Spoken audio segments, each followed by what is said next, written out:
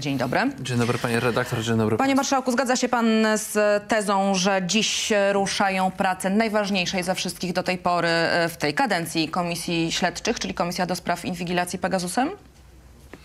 To zobaczymy, czy będzie powołana komisja jeszcze, którą my proponujemy. My, przypomnę, proponujemy dwie. Jedną w sprawie nadużyć covidowych i drugą w sprawie e, zalania polskiego rynku e, produktami rolnymi z Ukrainy, czyli tak zwanej afery zbożowej. Przypomnijmy, że otwarcie polskiego rynku popierały wszystkie partie, za wyjątkiem Konfederacji i niszczy to w tej chwili nasze rolnictwo już drugi rok z rzędu. Do Pegasusa wróćmy. Natomiast e, spośród tych trzech ja myślę, że i komisja do spraw afery wizowej jest ważna i do spraw Pegasusa jest ważna. Każda na swój sposób. Ta do spraw wyborów kopertowych troszeczkę mniej, bo jakby e, najwięcej wiadomo na, na temat tej sprawy. Panie marszałku, a nie przeraża pana ta skala, z którą podobno mamy do czynienia, jeżeli chodzi o Pegasusa? Oczywiście na razie opieramy się na informacjach e, nieoficjalnych, ale no, już coraz częściej mówi się o tym, że mm, rzeczywiście no, to jest zdecydowanie więcej niż wszyscy sobie mogliśmy wyobrazić osób, które e, inwigilowane miały być. Mówił o tym premier Tusk na Radzie Gabinetowej, mówił o tym, czyli musi mieć podkładkę, jak rozumiem, mówiąc potocznie, no bo stwierdził, że jest w stanie w każdej chwili te dokumenty przekazać prezydentowi. Więc pytanie, jak, jak to w ogóle jest możliwe, że w demokratycznym państwie doszło do inwigilacji na taką skalę i to nie tylko e, politycznych konkurentów, ale także innych ludzi? E, Nie przerażają mnie te informacje zupełnie. Nie przerażają. Mhm. Nie, absolutnie nie. Dlatego, że o tym, że podsłuchy są nadużywane wiemy od wielu lat i to nie jest żadna nowość. Tylko, że to nie jest podsłuch. No dobrze, no, narzędzie inwigilacji. E, Ma dokładnie ten sam cel co podsłuch e, i działa w Ale- dość podobny sposób. No nie, dlatego, że można wgrywać materiały, na przykład na pański czy na mój telefon, można manipulować treściami SMS-ów. Podsłuchiwanie to jest zupełnie inna sprawa.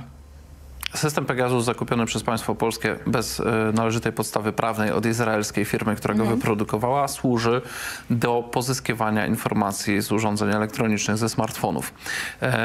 Jeżeli on umożliwia e, wgranie czegokolwiek, e, no to jak sądzę wyłącznie w celu inwigilacji i oczywiście... Albo preparowaniu materiałów na Proszę, po, proszę pozwolić. Przepraszam, tylko uzupełniam, Bo panie nie chcę, marszałku. żebyśmy bo- widzów po prostu niepotrzebnie tutaj wprowadzili na boczny tor.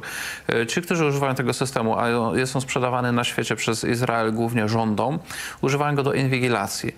W oczywisty sposób, gdyby komuś coś wygrywali, co jest widoczne, to w ten sposób by zdemaskowali się, że ta osoba jest inwigilowana, więc nikt go w ten sposób nie używa. Więc nawet jeżeli technicznie jest to możliwe, to e, prowokacje, jeżeli ktoś robi w ogóle prowokacje polegające na nie wiem, spreparowaniu jakichś materiałów, myślę, że można robić z powodzeniem bez Pegasusa. Zostawmy na No, chwilę co ten pokazała wątek. afera gruntowa, Zaczęliśmy prawda? od kwestii e, przerażenia mojego, więc przerażenia nie ma. Mhm. Druga sprawa. Podchodziłbym z najwyższą ostrożnością do wszystkiego, co mówią w tej chwili politycy w tej sprawie. E, moim zdaniem powinniśmy wyłącznie liczyć na efekty pracy komisji, a to, co wszystko mówią politycy i dziennikarze powołujący się na polityków, powinniśmy traktować wyłącznie jako sferę pewnych plotek, przypuszczeń i spekulacji. A to, co mówił premier? Premier nie przekazał prezydentowi żadnych konkretnych Bo prezydent nie informacji. jest zainteresowany. Politycy, co... Nie, no bez, bez żartów. Nie, no nie, nie żartuję. Ja wczoraj rozmawiałam z Pani- ministrem Żarynem. Panie marszałku, to ja panu Ale wytłumaczę. to nie o to chodzi. Ale pan- Jakby premier chciał coś przekazać, to by przekazał. No nie, ale To jest fakt. Nie zaraz, przekazał, a gdyby nie e, prezydent był zainteresowany, to też nie chciał, bo by powiedział, okej, poproszę o te dokumenty. A pan mojej minister Żaryn, proszę dać mi skończyć, wynika, że- powiedział, że e, to wykracza poza kompetencje prezydenta, ta kwestia i jego to nie interesuje. Żaryn dla prezydenta? Doradcą prezydenta Rzeczypospolitej. Ja wiem, że nie przekazał y, informacji żadnych i wiem to bezpośrednio z kancelarii prezydenta. Gdyby chciał przekazać, to by przekazał.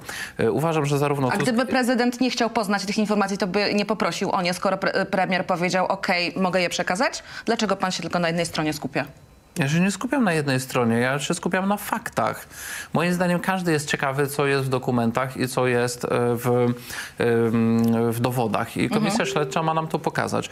Na chwilę obecną uważam, że i Tusk i Kaczyński kłamią w tej sprawie. Nie wierzę, Obaj? Że, obaj. Nie wierzę żadnemu z nich. Uważam, że to, co państwo wyemitowali przed naszą rozmową, te e, pogadanka Jarosława Kaczyńskiego, to jest dla e, naprawdę wyjątkowo naiwnych. E, widać, że to jest propagandowo ustawione, że on weksluje tę sprawę, używa w ogóle ogóle śmiesznych sformułowań. Nie mówi o osobach, które popełniły przestępstwa, tylko o osobach obciążonych przestępstwami. E, No i oczywiście szpiedzy Ukrai- rosyjscy i białoruscy. Innych w Polsce się nie ściga, prawda, niż rosyjskich i białoruskich. Być może w ogóle zdaniem Jarosława Kaczyńskiego nigdy w Polsce nie było innych szpiegów niż rosyjscy i białoruscy. Oczywiście wynika to sformułowanie wyłącznie z propagandowych kwestii, bo Jarosław Kaczyński zna badania opinii publicznej i od lat e, działa w zgodzie z nimi. To znaczy wie, że Polacy najbardziej boją się Rosji i na tym strachu gra. Żeby było jasne, jest to strach uzasadniony. Natomiast inwigilowani jesteśmy z każdej strony i wszystkie sensowne, poważne państwa mają swoje wywiady, które działają w Polsce. E, I nasze służby powinny tropić wszystkich szpiegów, a nie tylko białoruskich i rosyjskich. Pan, ale o kondycji Jest- polskiego jest- wywiadu przez ostatnich 8 lat moglibyśmy, jak sądzę, długo rozmawiać. I wcześniej też. Wydajemy śmieszne pieniądze na wywiad i śmieszne pieniądze na To dyplomat. do tego zaraz wrócimy, bo Powinno tutaj się chyba to parę, parę właśnie kwestii trzeba to zmienić. zmienić. No Natomiast zaraz do tego wracając, wrócimy. Nie wierzę żadnemu z nich. Zachęcam widzów, żeby nie wierzyli w żadne publiczne wypowiedzi A czemu nie polityków. wierzy pan Tuskowi? A dlaczego miałbym uwierzyć? To jest kłamstwo. Nie, ale to, to jest Kłamał kłam... wielokrotnie w bardzo wielu sprawach. Jakich? Dlaczego miałbym uwierzyć? Zapowiedzi własnego rządu, realizacji polityki. No w poprzedniej kadencji, jak rządził, mówił, że wyrzuci z rządu każdego, kto e, zdecyduje się podwyższyć podatki. Po czym podwyższył wielokrotnie wiele podatków. Niektóre z nich mają podwyższone do dziś. Nigdy za to nie wyrzucił nikogo ze swojego rządu. Ale mm, jak y, sądzę, w kwestii Pegasusa ta sprawa jest bardzo łatwo weryfikowalna. Jeżeli zaproponował przekazanie dokumentów dlaczego pani tak sądzi? No bo ma być opublikowana lista No ale- y, osób podsłuchiwanych. No to nie sądzę, żeby oni to, sobie co jak zrobiono, królika z kapelusza wyciągnęli te nazwiska. liczy się to, co kto zrobił, a nie to, co kto gada. Ja Ale mogę pani, pan, że wyjąć nie będzie kartkę, napiszę pani listę i powiem, o to jest lista. Widzi pani, dostałem ją od mojego Nie, bardzo wysoko postawionego informatora tak, ze służb. y, Ale tak działają politycy. działanie. Tak działają politycy. To pan też tak działa? No przecież Tusk ostatnio, ja się staram tak nie działać, ale moim zdaniem jestem wyjątkiem. Na przykład Tusk powiedział... Bardzo skromnym zresztą. Y, Nie wiem, czy skromnym. Mam nadzieję, że jest więcej takich osób. Natomiast trudno jest odróżnić y, w, w stadzie kłamców, trudno jest odróżnić ludzi prawdomównych, bo niestety funkcjonowanie w stadzie kłamców powoduje, że musimy każdego traktować potencjalnie tak jak kłamcę. Niektórzy tylko mają bardziej piękne oczy, a nie, niektórzy mają odpychające, zdemoralizowane gęby, ale wszyscy mogą działać dokładnie w ten sam sposób. Wracając do Tuska, on przy okazji Rady Gabinetowej powiedział, że wszystkie ekspertyzy wskazują, że y, CPK jest nieopłacalne. No a eksperci nie są w stanie znaleźć tych ekspertyz i powołują się nawet ekspertyzy jego własnego rządu, jeszcze z okresu ministra Grabarczyka, z której wynika, że CPK centralny, czy wtedy CPL jest nam potrzebne i jest opłacalne. No to kto się myli? Eksperci ze wszystkich firm doradczych, inwestycyjnych, czy Tusk, który się powołuje na coś, czego nie... No uważam, że po prostu y, politycy niestety, naiwność y, dziennikarzy, przepraszam, z całym szacunkiem dla pani redaktor, ale dziennikarzy opinii publicznej nie zna granic. Politycy się do tego przyzwyczajają. W kłamanie wchodzi im nawyk. Y, Jak są przyzwoici, najpierw kłamią w małych sprawach, później zaczynają kłamać w dużych, a później już we wszystkich. Z czasem sami przestają rozróżniać, co jest prawdą, e, co jest kłamstwem i zaczynają utożsamiać swoje chwilowe Co przekonanie pan jeszcze robi w tej prawdą. polityce, panie marszałku? Liczę na to, że może coś się uda zmienić na lepsze, panie Naprawdę redaktor. liczy pan na to cały czas? Cały czas na to liczę. Panie marszałku, a y, pan uważa, że te listy, czy właściwie ta jedna lista po znalezieniu odpowiedniej formuły prawnej, nad którą pracuje minister Bodnar i minister Siemoniak, y, ona powinna być y, upubliczniona w kontekście takiej jawności informacji wobec opinii publicznej?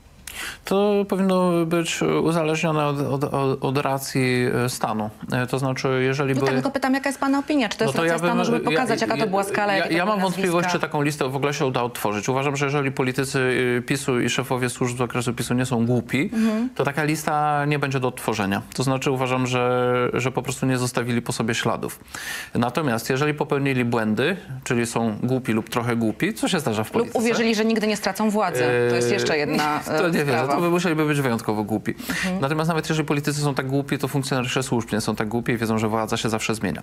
Więc w każdym razie oni nie powinni pozostawić po sobie żadnej listy. Być może to oprogramowanie e, pozostawia jakieś ślady. Jeżeli e, sprzedawcy oprogramowania z izraelskiej firmy sprzedający Pegasusa nie są głupi, to oczywiście nowemu rządowi nie udostępnią żadnych e, na ten temat danych, bo wówczas żaden inny rząd by im do końca nie wierzył, że to jest tajne, tylko by wiedzieli, że wszyscy mogą je sprzedać. Natomiast mhm. jest zawsze możliwe, że powstał jakiś błąd. Na przykład jakiś funkcjonariusz pisał notatki po to, żeby zdając sobie sprawę, że działa na granicy prawa, żeby być kryty. Być może mm, gdzieś tam zdeponował te notatki do jakiejś kancelarii tajnej i teraz one się znajdą. To jest możliwe, tak? I wówczas, jeżeli będziemy mieć dostęp do takiej listy, moim zdaniem ktoś, yy, na przykład minister Siemoniak, który jest koordynatorem do spraw służb, powinien na to spojrzeć i podzielić to na dwie części. Tą, która jest zgodna z racją stanu, czyli zagraniczni szpiedzy, prawdziwi przestępcy, em, Terroryści. terroryści i Agenci. to powinno pozostać tajne, natomiast tam, gdzie jest sfera nadużyć, czyli gdzie nie było podstawy prawnej, Tak. gdzie byli legalnie działający politycy. Czyli tą nielegalną legalnie część powinno się opublikować. w świetle pol- Nieuzasadnioną, W świetle polskiego sposób. prawa, pani redaktor, wszystko jest nielegalne, bo PiS, rządząc 8 lat, nie uchwalił ustawy dającej podstawę prawną do stosowania Pegasusa. Kupił go, przyznał, że go kupił, Mhm. Nie uchwalił ustawy. I to jest e, dziwne. Ja na ich miejscu bym uchwalił ustawę. Mieli wszechwładzę przecież przez długi czas. E, nie wiem, czemu tego nie zrobili. To, to głupie. E, Natomiast e, minister powinien się kierować nie tylko prawem, ale też racją stanu. Czyli nawet jeżeli często, często jest na świecie tak, że służby robią nielegalne rzeczy, e, szczególnie wobec, poza granicami, wobec rywali zewnętrznych, tak?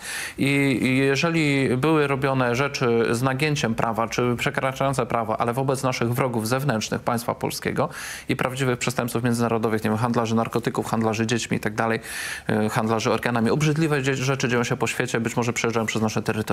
To wszystko powinno być inwigilowane i zwalczane. I to powinno pozostać tajne, żeby ci źli ludzie nie zorientowali się, jakich No to metod używa sprawa. państwo. No to jest kwestia racji stanu Natomiast i jak tam, gdzie rozumiem jest kwestia tego- nadużyć naszej demokracji, to powinno być moim zdaniem położone na prawnego. stół w Komisji Śledczej. E, A e, panie marszałku, jeszcze jedna sprawa dotycząca tej e, komisji. Ziobro, Szydło, Wąsik, Kamiński. To są cztery nazwiska, które teraz najczęściej wśród e, prezydium komisji, członków komisji pojawiają się jako ci świadkowie, którzy jako pierwsi powinni przed tą komisją się stawić. Czy pan tutaj by jakoś uzupełnił tę listę lub ją zmienił? No na pewno koordynatorzy służb, y, więc w oczywisty sposób minister Kamiński, y, jego zastępca minister Wąsik, to jest oczywiste.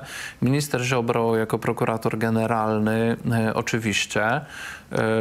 I jako szef Funduszu Sprawiedliwości. Premierzy oczywiście, tak. Y, kie- Jeżeli to było kupione w okresie kadencji pani premier Szydło, to oczywiście też powinna być przesłuchana, bo odpowiada za to, co robi rząd i podobnie premier Morawiecki.